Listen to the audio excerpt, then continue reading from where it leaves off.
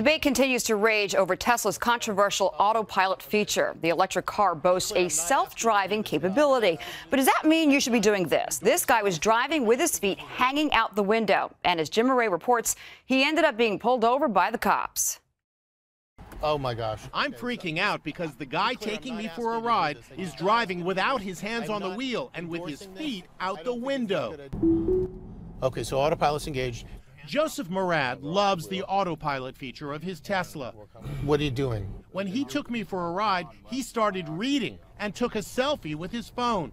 Say hi, everybody. Hi, everybody. How you doing? And yes, he even drives with his feet hanging out the window. And that's exactly what got him into trouble when a stunned California Highway Patrol officer pulled up alongside him. He was blown away. Did not know how to react to the uh, the incident. What did he say to you first? He asked me why I was driving with my feet out the window. Mourad was issued a ticket, all right, but not for what you think. It was for going too slow, 25 in a 65 mile an hour zone.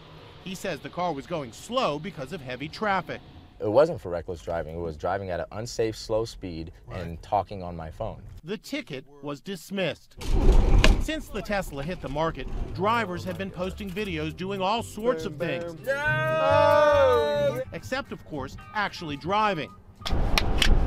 They're playing games, eating snacks, ah! even taking naps. Now it's driving around with your feet hanging out of your window. But on its website, Tesla makes it clear that autopilot is intended for use only with a fully attentive driver. Always keep your hands on the wheel and be prepared to take over at any time. Mourad, a Grammy nominated record producer who goes by the name DJ Calypso, admits he went too far. But the question is, is it safe? Absolutely not.